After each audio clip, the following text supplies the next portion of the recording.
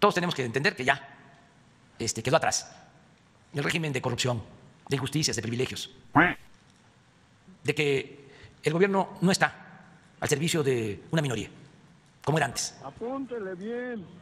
Y que no pueden haber abusos. Esto de la industria eléctrica es parecido a lo que sucedía con los impuestos. Pagaba impuesto el pueblo raso, pero no pagaban impuestos los de arriba. Un pequeño, mediano, comerciante, empresario, tenía que pagar los impuestos, pero las grandes corporaciones no pagaban. Lo mismo en el caso de la industria eléctrica.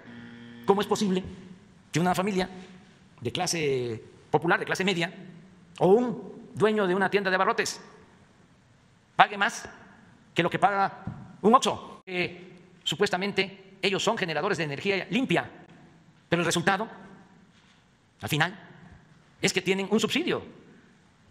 ¿Y quién paga el subsidio? El pueblo.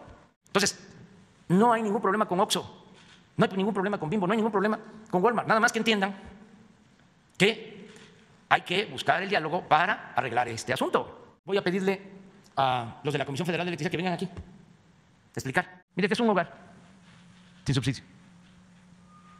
Cinco o dos pesos kilowatt. Esta es una tienda de barrotes. Este es con subsidio de clase media. Un hogar. Este es Oxxo, este es Walmart y este es Bimbo. Eso la gente no lo sabe. Que Oxxo tiene también plantas para generar energía. O Bimbo o Walmart tienen sus plantas. Por ese hecho, ellos este, eh, obtienen un precio más bajo. Es un arreglo que podemos eh, lograr. No es eh, un asunto solo judicial que un juez, dos jueces, tres jueces este, han autorizado 20, 30, 40, 100 suspensiones. Va el proceso legal. Y si este, tiene que llegar a la Corte, pues allá van a decidir.